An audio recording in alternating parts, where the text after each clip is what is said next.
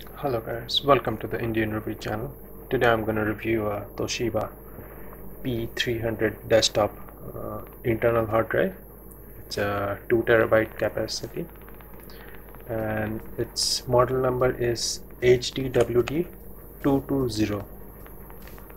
So there was another model previous this, it was 120 and that was a 7200 RPM this model is 5400 rpm uh, but for whichever shop I went everyone was selling this uh, 220 model and they said it's 7200 rpm but in the website I checked it it's 5400 uh, in the package it's not written outside but when you open the hard drive it's you can clearly see 5400 rpm written.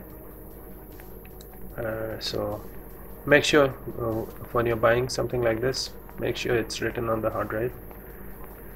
And make sure to check the model. Now I'm going to plug it in in my desktop and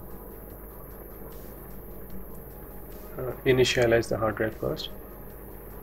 First go to disk management. And then click on it on the unallocated zone and format it for the first time otherwise you won't be able to detect the or see the hard drive in your PC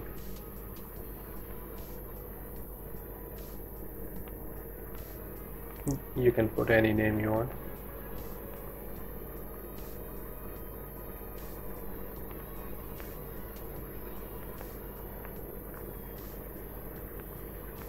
It's formatted.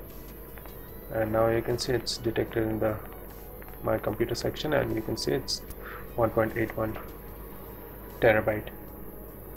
Now I'm going to fast forward and you can see the read and write on CrystalDiskMark. Uh, it takes a lot long time since it's running five cycles of read and write. So I've sped it up and if you want to see the final benchmark you can just go at the end of the video and you can see all the read and write uh, speeds so if you guys like this video you can uh, give a like to my video and subscribe to my channel.